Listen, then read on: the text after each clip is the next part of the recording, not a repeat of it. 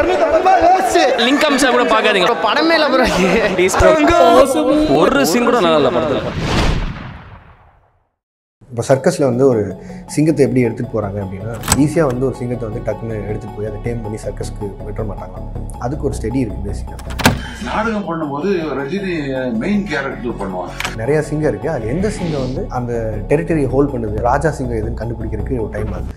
அப்போ அவனுக்கு இருபத்தி ரெண்டு வயசு. அது வந்து அதோட பெஸ்ட் ஃபேஸ் ஆஃப் டைமில் இருக்குது ஆங்கிரி யங்மன் சொல்கிற மாதிரி ஒரு பாயிண்ட் இருக்கிற ஒரு சிங்கம் நடிப்பை பார்க்கறதுக்கு நான் உட்காந்துக்குவேன் உட்காந்து பார்ப்பேன். அந்த சிங்கத்தை எடுத்துகிட்டு போயிட்டு அது போய் அதோட ஃப்ரெண்ட்ஸ் எல்லாம் இல்லாமல் காட்டில் எல்லாம் எதுவும் இல்லாமல் ஒரு மாதிரி தனியாகவே உள்ள இருக்கும். ரஜினிகாந்த் வந்து ரொம்ப இன்ட்ராவர்ட் அதாவது ரொம்ப பயந்த ஆள். என்னைக்கு மக்கள் கை தட்டுறாங்களோ அந்த கைத்தட்ட அந்த சிங்கம் வாங்க ஆரம்பிச்சது திருப்பி அதோட அந்த சேர் டைம் போயிடுது. காட்டில் அதுக்கு கிடைச்ச அந்த சேரிங்கிறது போயிடுது ஏன்னா விஷயம்? நான் இப்படி பேர் எடுக்கிறாங்க இவன்.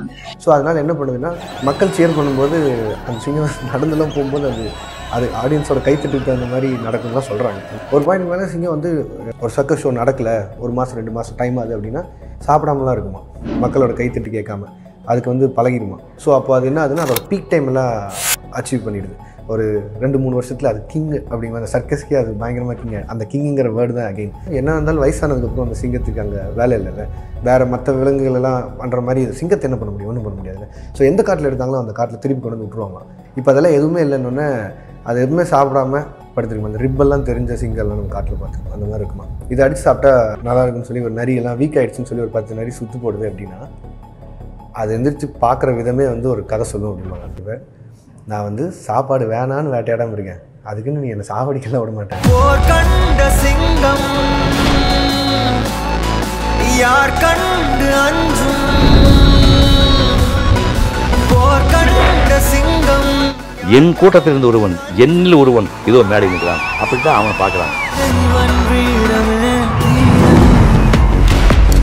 மறுநாள் ஐம்பத்தாறாம் தேர்ந்த கூட ரஜினி பா- ரஜினியும் பயன்பட கை தட்டுறான் வில்லன் ரோலியாது பத்து ஹீரோ அன்னைக்கு இருந்தாங்க. எழுபத்தொம்பது எண்பதுல ரஜினி சார் அந்த நம்பர் ஒன் இடத்துல வந்து உட்கார்ந்தாரு. அதுலேருந்து எனக்கு இது வரைக்கும் அந்த நம்பர் ஒன் பொசிஷன்லாம் அவர் இருந்துட்டு இருக்காரு.